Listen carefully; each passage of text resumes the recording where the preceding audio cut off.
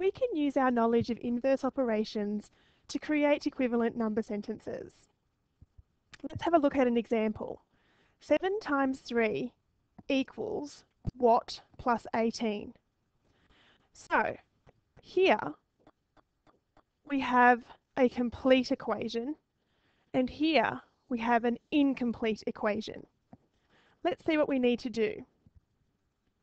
Step one is to find the solution to the complete equation. Well, that seems pretty easy. 7 times 3 equals 21. Okay, step 2. We need to rewrite the incomplete equation with the solution from step 1. So, we're trying to find what plus 18 equals 21. Step 3. We now need to use inverse operations to get the answer to the incomplete equation.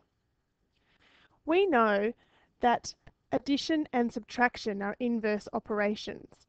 So to find the solution here, we can simply do 21 take away 18, which equals 3.